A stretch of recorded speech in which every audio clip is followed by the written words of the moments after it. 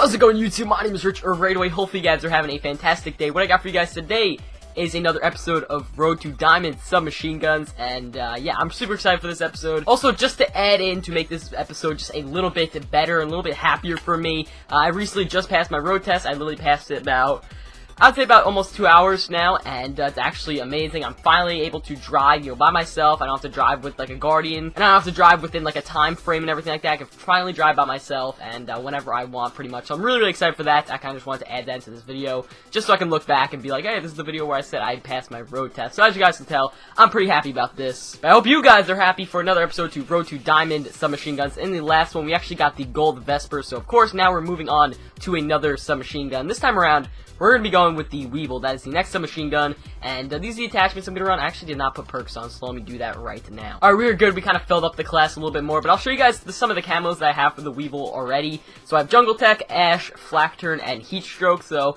we got a lot of camos to go. I think we're going to get like maybe up to like, I don't know, Integer maybe this time around. Or just 6 speed. Just do a little bit of headshot challenges for today. Or a couple camos. Have some fun with the Weevil. And uh, also, I, I got two cool camos for this weapon in the Black Mark. I got this one Field. I believe this one's a common, but this one's actually a rare. So I'm gonna rock this one for today's video. It looks really, really awesome. So if you guys do enjoy the video, if you guys do, drop a like. 70 likes is going to be the goal. You know, just leave some feedback and just leave a rating. I just want to see some feedback from you guys. But with that being said, let's jump right into a game. Alrighty guys, this headshot time. Back to stage one, of course, for getting, you know, the gold camo for the weapons. And I see this guy. Why is he got to be running? Oh, we got a headshot either way. There we go, boys. Oh, nice. That guy was focused on another person. So that was a good opportunity to get some headshots. This guy's throwing in things. Ooh, and we still get him with the headshot. Uh, unfortunately, the second one was not a headshot, but, uh, alright, it's all good, that's all good. I gotta say, though, the Weevil is definitely a good submachine gun in this game. Like, it's very, very usable. Definitely reminds me of, like, the P90 from MW3. If I, if I had to compare to a different weapon, definitely the P90. That guy's on the ground. What are you doing, boy? We still get the headshot off. Oh. Oh, my lord. I was mid-reload. But there we go. We got Snow Job. So, uh, pretty weird camo name, not gonna lie. But still, we got it. So there's Snow Job. Oh. Oh, nice. Alright, I didn't know if we got the headshot because I leveled up. I didn't see the headshot medal. Oh, there's two headshots. There's the times two headshot medal. That one, that one looks nice right there. Oh, that jump shot! Oh god, I did that guy dirty. Oh, that headshot. Yeah, the Weevil is so good for getting headshots. I seriously mean that. Red dot on the Weevil seriously works wonders for getting headshots. Seriously, oh my lord.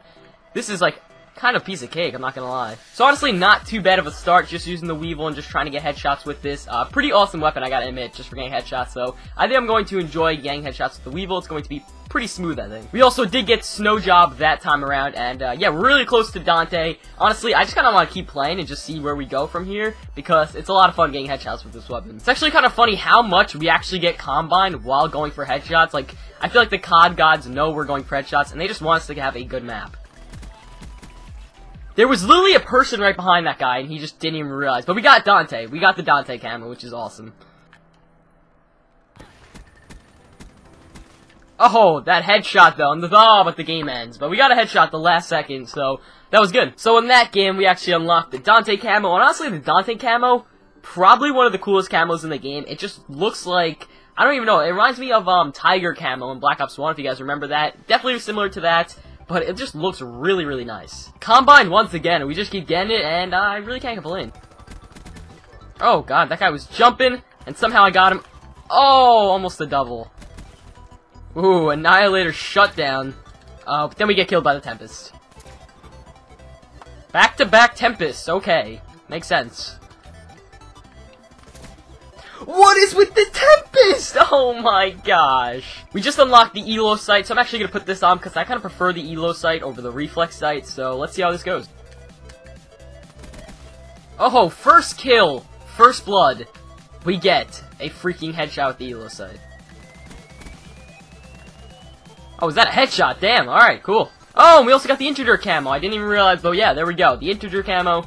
Definitely one of the cooler camos as well in this game. Alrighty guys, but I think that wraps it up for this video. I'll show you guys kind of the progress we made in today's uh, kind of episode. So, we had, I think, up to heat strokes, and then we obtained the snow job camo, the Dante camo, and the integer camo. Three camos we obtained today for the headshots, and I think this was a good introducing kind of video or kind of episode for the Weevil, and I'm also excited to continue on with this gun, because I think it's going to be kind of like a smooth sailing with this weapon. Uh, it's a lot of fun, and uh, pretty easy to use, honestly, in free throw and everything like that. So, hope you guys did enjoy today's episode of Road to Diamond Submachine Guns. If you guys did, drop a like or dislike. I just want to see some feedback from you guys, and uh, just remember to leave a rating. If you guys are watching up to this point, make sure to comment in the comment section down below Dante, because this is honestly a really cool camo. And uh, yeah, that's pretty much it. Hope you guys had a great day, and I'll see you guys on another one.